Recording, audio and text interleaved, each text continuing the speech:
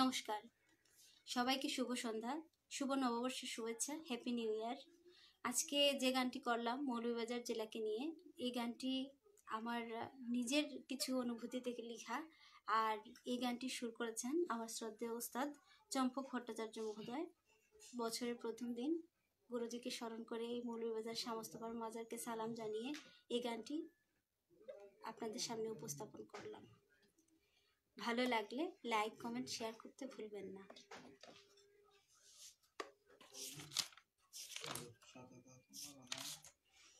এবারে হাসন রাজের একটি গান গাইছি।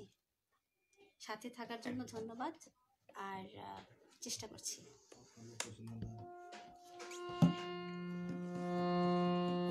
রঙের বারুই